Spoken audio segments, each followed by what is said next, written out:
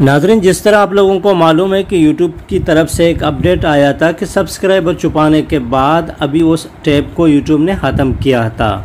तो इसके बाद नाजरीन, अभी नए यूट्यूबर जो चैनल बना रहे हैं तो हमें सवाल कर रहे हैं कि ये क्या मसला है कि उसके सब्सक्राइबर काउंट टेम्परेली अनेबल तो इसका मतलब क्या होता है? आज इसके बाद आप लोगों का इस मसला भी हल होएगा और आप लोगों को मुकम्मल इसके बारे में समझाएँगे ताकि आप लोगों के साथ ऐसा प्रॉब्लम हो जो नया चैनल क्रिएट करने के बाद आप उसको भी ख़त्म करें और सॉल्व कर दें।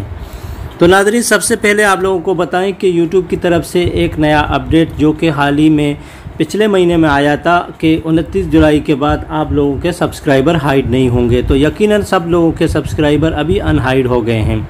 लेकिन जो ही नादरी नए दोस्त, नए चैनल क्रिएट कर रहे हैं तो वो लोगों के साथ एक नया प्रॉब्लम आ रहा है, जो कि आप लोगों को इस टेप में मैं आप लोगों को दिखा रहा हूँ कि सब्सक्राइबर काउंटिंग टेम्परेली अनअवेलेबल तो इसका मतलब क्या होता है और इस मैसेज क्यों शो होता है हमें?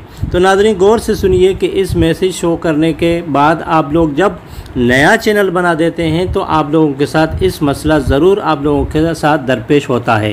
चाहे आप लोग एक वीडियो डालें या दस डालें। तो नाजरीन, इसका मतलब ये होता है कि आप लोग जो ही चैनल को स्टार्ट करते हैं यूट्यूब आपके सब्सक्राइबर को शो नहीं करता है। तो इसका मतलब ये होता है कि आप लोगों के नए चैनल में कोई बंदा आपके गाहक नहीं है और आपके वीडियो को किसी बंदे ने नहीं शो मतलब हुआ है और नहीं बंदे ने आपके वीडियो को वॉच किया है। तो साफ़ ज़ाहिर होता है कि आपके सब्सक्राइबर शो तो नहीं होते हैं।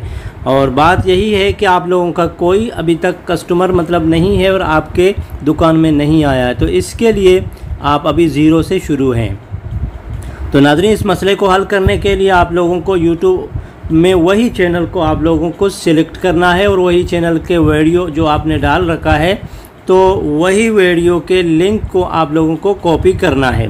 कॉपी करने के बाद नाजरीन, आप लोगों को यूट्यूब टैब में आना है और अपने दूसरे आईडी को ओपन करना है और दूसरे आईडी से आप लोगों को अपने वही नए चैनल को ओपन करके उसके वीडियो को वॉच करना है और उसको वीडियो को लाइक करना है और वीडियो को आप लोगों को वही चैनल को सब्सक्राइब करके बिल नोटिफिकेशन को ऑन करना है।